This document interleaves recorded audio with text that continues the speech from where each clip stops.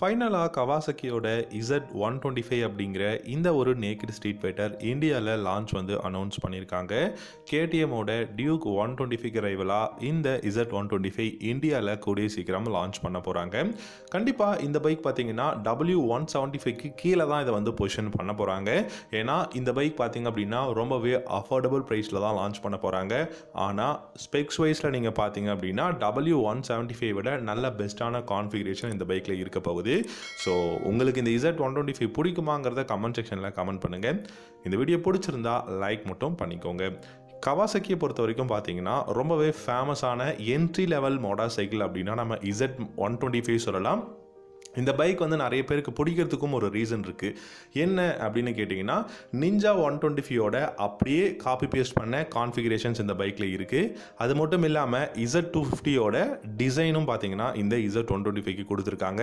அதனால் நார்மலாக பார்க்கும்போது ஒரு two hundred CC naked street fighter மாதிரினா லுக்கில் இருக்குது அண்ட் இந்த பைக்கை பொறுத்த வரைக்கும் நல்ல build quality riding economics engine performance affordable price அப்படின்னு சொல்லிட்டு எல்லா செக்மெண்ட்லேயுமே இந்த பைக் பார்த்தீங்க அப்படின்னா டாப்பில் தான் இருக்குது அப்படின்னு சொல்லலாம். இந்தியாவில் இன்னும் லான்ச் பண்ணாததுக்கு ரீசன் என்னன்னு பார்த்தீங்கன்னா அப்கமிங் கவாசகி நிறைய புது மோட்டார் சைக்கிள்ஸ் இந்தியாவில் லான்ச் பண்ண போகிறாங்க இசட் டூ ஃபிஃப்டி பார்த்தீங்கன்னா திரும்பவும் ரீலான்ச்சிங் இருக்க போகுது. இசட் ஃபோர் ஹண்ட்ரட் கொண்டு வரதுக்கான ப்ராசஸ் எல்லாம் பண்ணிக்கிட்டு இருக்காங்க. இந்த மாதிரி நிறைய விஷயங்கள் வந்து கவாசகி இந்தியாவில் நிறைய பெஸ்ட்டான mid range motorcycles and entry level naked street fighters launch பண்ண போகிறதா அனௌன்ஸ் பண்ணியிருக்காங்க அதனால கொஞ்சம் டிலே ஆகுது இந்த இசட் ஒன் டுவெண்ட்டி ஃபைவ் ஒரு லட்சத்தி நாற்பதாயிரம் ரூபா ரேஞ்சில் இந்த Z one twenty five launch பண்ணால் பெஸ்ட்டாக இருக்கும் அப்படிங்கிறது தான் நான் சொல்லலைங்க. எக்ஸ்பர்ட்ஸ் வந்து சொல்லிட்டு இருக்காங்க. ஒரு லட்சத்தி நாற்பதாயிரம் ரூபா அப்படிங்கும்போது டெஃபினட்டாக ஒன் லேக் சிக்ஸ்டி ஃபைவ் தௌசண்ட்க்கும் மேலே ஒன் லேக் செவன்ட்டி தௌசண்ட்க்குமே இந்த பைக்கோட ஆன் ரோட் ப்ரைஸ் போகும்.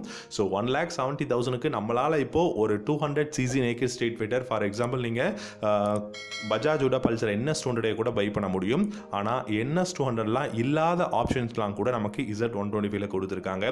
பில்டு குவாலிட்டி அப்படிங்கிற ஒரு விஷயம் வந்து பெஸ்ட்டாக இருக்குது டெக்னாலஜி அப்படிங்கிற ரெண்டாவது விஷயம் வந்து பெஸ்ட்டாக இந்த இசட் ஒன் டுவெண்ட்டி ஃபைவ்ல கொடுத்துருக்காங்க. அப்படி என்ன டெக்னாலஜி இருக்குன்னு பார்த்தீங்கன்னா இந்த பைக்கை பொறுத்த வரைக்கும் கிட்டத்தட்ட அந்த ஒரு ஆரோ டைனமிக்ஸ் பாடி பேனல்ஸ் அந்த ஷார்ப்பான ஸ்லீக்கான அந்த ஒரு டிசைன் வந்து இந்த பைக்கு கொடுத்துருக்காங்க. நீங்கள் பார்த்தீங்கனாலே தெரியும் டெய்ல் செக்ஷன் கிட்டத்தட்ட உங்களுக்கு ஃபுல்லிஃபைடு மோட்டார் சைக்கிள் ஸ்போர்ட்ஸ் மாடலில் இருக்கிற மாதிரியான ஷேப்பில் கொடுத்துருப்பாங்க.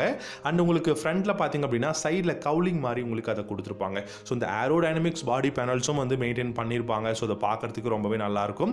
ஷார்ப்பாகவும் ஸ்லீக்காகவும் இருக்கும். அது வந்து பார்த்தீங்கன்னா ரைட் பண்ணும்போது அக்ரஸிவாக நம்மளை வந்து காட்டும். இது எல்லாத்தையும் விட பார்த்தீங்கன்னா லிக்விட் கூலிங் அதுக்கப்புறம் டியூவல் சேனல் ஏபிஎஸ் அதுக்கப்புறம் telescopic forks digital instrument cluster அப்படின்னு சொல்லிட்டு எல்லாமே ஓரளவுக்கு பெஸ்ட்டான கான்ஃபிகரேஷன் இந்த இசட் ஒன் டுவெண்ட்டி ஃபைவ்ல வந்து கவாசக்கி கொடுத்துருக்காங்க.